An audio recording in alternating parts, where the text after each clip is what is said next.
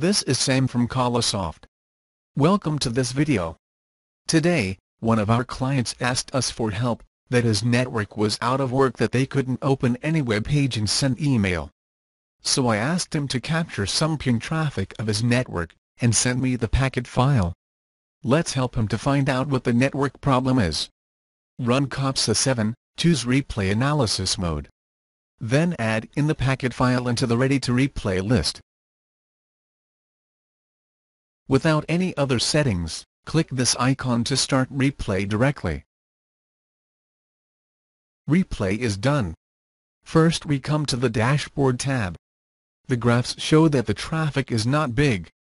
We can conclude that, no machine is keeping sending a large sum of packets, to block the bandwidth.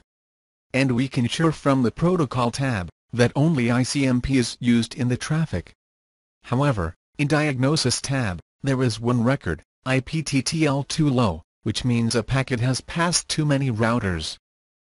And we can see the anomaly happens at IP address 172.16.208.33.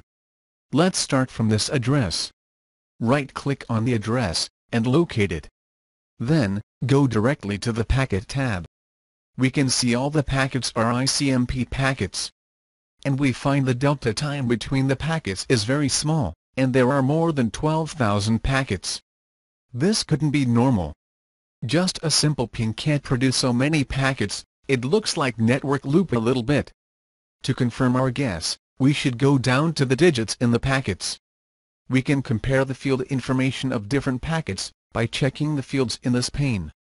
While we come to the identification field, we can see there are so many packets have the same identification number. We know that when ICMP packets has its own identification number, there's no way that so many packets have the same number. Now we are much sure it's a network loop. But to sure this, we need to see another important field, TTL value. Check the time to live field.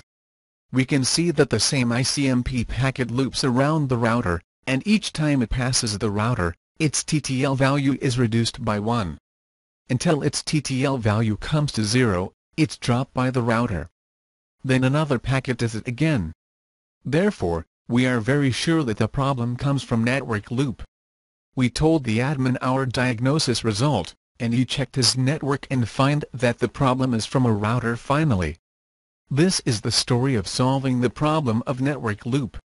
So, did you learn how to find the network loop? This is the end of the demonstration, thanks for watching.